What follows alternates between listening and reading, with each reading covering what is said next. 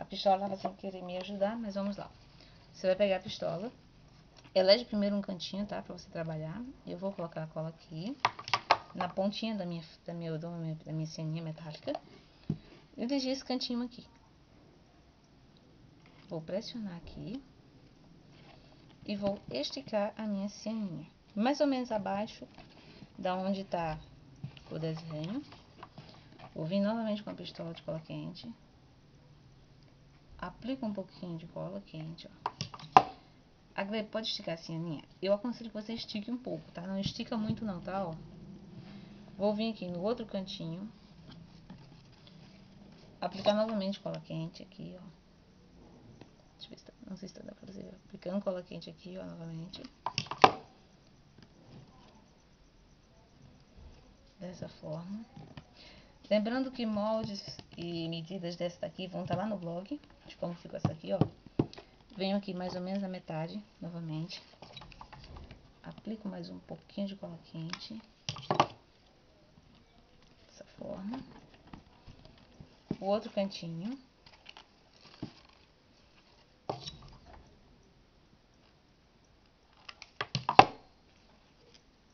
Vai aplicando cola quente de acordo com quando você terminar, provavelmente você vai encontrar alguns pontos que você vai precisar novamente aplicar, que você vai ter que aplicar. Só que são pontos que não são mais no meio nem nos cantos. Essa, essa aplicação que eu faço geralmente no, nos cantinhos, geralmente da peça, em pontos estratégicos da peça, é justamente para me ajudar a não ter que ficar fazendo, pregando a peça inteira, fio enorme cola quente, aquele negócio todo, a pistola, a cola acaba, aquele negócio todo, né? Novamente, outro cantinho.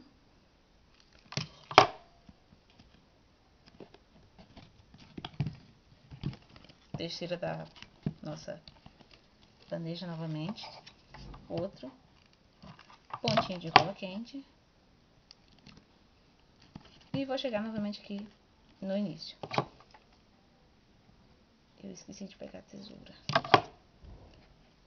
Chegamos ao final. Eu não peguei a tesoura. Não tá aqui, mas aqui você corta a sua, o resto que sobrar, a sua fita. E a bandeja vai ficar dessa forma. Vai dar um charme a mais.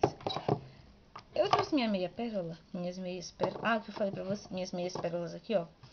Pra mostrar pra vocês o que, como que eu vou, como que eu posso, onde que eu posso botar meias pérolas. Eu tenho essas flores aqui no centro. No miolo de cada flor dessa, grande, eu posso aplicar uma meia pérola. Eu vou aplicar uma meia pérola em cada miolinho desse. Na minha opinião, pérolas são sempre bem-vindas em tudo. Vou pegar a minha pistola de cola quente e vou aplicar. Deixa eu ver se vocês vão conseguir ver aqui, ó.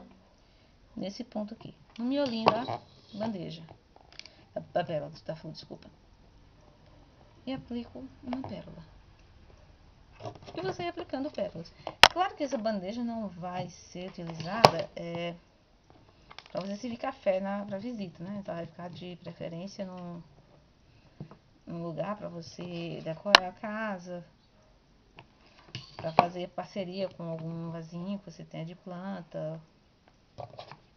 E eu vou sair dessa forma, distribuindo pérolas nos miolos de flores.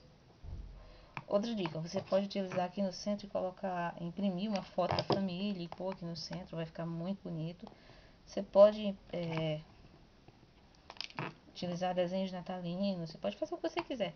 Agora para Páscoa, então, gente, dá para fazer com várias ideias, dá para colocar coelhinhos e tudo mais. Bom, meninas, essa foi a nossa bandeja. As primeiras dicas com relação à pintura. Vou mostrar para vocês de perto. Como que ficou, ó. No miolo eu coloquei algumas pérolas, ó. Nas laterais aqui, ó. Você pode pôr pérolas aqui também. Essas aqui também na lateral. Vou pôr também algumas pérolas aqui. Dessa forma, ó. Você vem com a pistola. Deixa eu ver se eu consigo filmar, filmar e fazer ao mesmo tempo. Aplica um pouquinho de cola quente. Pega uma, uma meia. Eu tô usando meia pérola. Eu aconselho para esses trabalhos meias pérolas, tá, gente, ó. E aplica desta forma. E em cima disso aqui você pode aplicar o verniz. Eu vou optar por aplicar o verniz de madeira. Aqui do verniz spray, porque ele vai dar um efeito mais brilhoso à nossa peça, mais brilhante à minha peça. Deixa eu aplicar mais, tem mais uma ali, ó. Eu tava lutando para não aplicar pérolas nessa daqui, mas não teve jeito, ó. Realmente as pérolas estão dando um charme à parte na peça. vou virar para outro lado. Eu não cortei a cianinha ainda, vou cortar a cianinha daqui a pouco. E vou aplicar pérolas aqui também, ó. Apliquei pérolas em todos os lados. E vou aplicar o verniz. Importante, quando você for aplicar o verniz, é, tenta aplicar ele o seguinte, eu vou explicar pra vocês exatamente como que eu aprendi a aplicar o verniz, tá? O verniz você tem que aplicar a uma distância de um palmo da peça e a pelo menos um braço de distância de você. Essa distância de um braço de você é por causa do cheiro forte do verniz, que a gente sabe que pode e provavelmente vai afetar a saúde.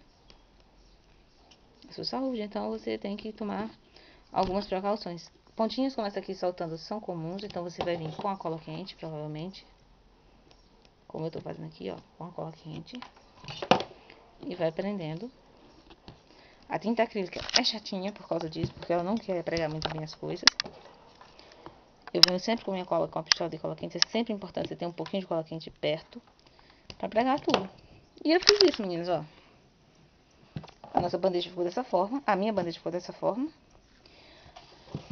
Aqui na lateral eu apliquei as pérolas, né? E ela vai ficar dessa forma para decorar a casa.